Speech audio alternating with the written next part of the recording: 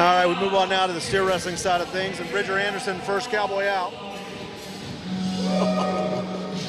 Well, that's what you want to do. That's how you want to tip one over. Run him halfway down the arena, and I mean just the instant you get your hands on those horns, that steer's laying on his side.